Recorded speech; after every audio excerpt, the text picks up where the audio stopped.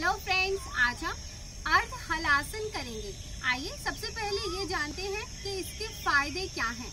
यह हमारे टमी के फैट को रिड्यूस करने में हमारी हेल्प करता है लेग थाई मसल्स की टोनिंग करता है डाइजेस्टिव सिस्टम को स्ट्रॉन्ग बनाता है और भूख को बढ़ा देता है। आइए, अब ये देखते हैं इस आसन को करना कैसे है।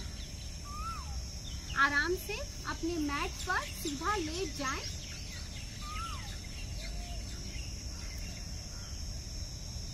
सांस भरते हुए अपने एक पैर को ऊपर की तरफ़ उठाएँ और इस पोजीशन को होल्ड करें।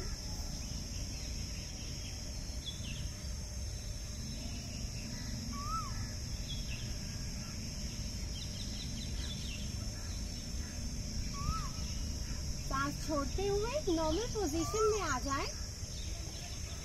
अब हम दूसरे पैर से करेंगे। सांस भरते हुए पैर को ऊपर की तरफ़ उठाएँ, होल्ड करें।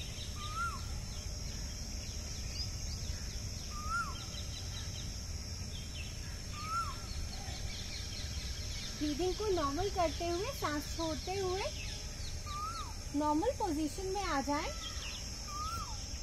रेस्ट करें। आप इसे कम से कम 10 बार ज़रूर करें। एक साइड करवट लेके आराम से सुखासन या वज्र आसन में बैठ जाए। फ्रेंड्स आप भी इस आसन का पूरा पूरा लाभ लें। अगर आपको मेरी वीडियोस अच्छी लगती हैं तो प्लीज़ मेरे चैनल को सब्सक्राइब करें लाइक करें और शेयर करें. Thank you friends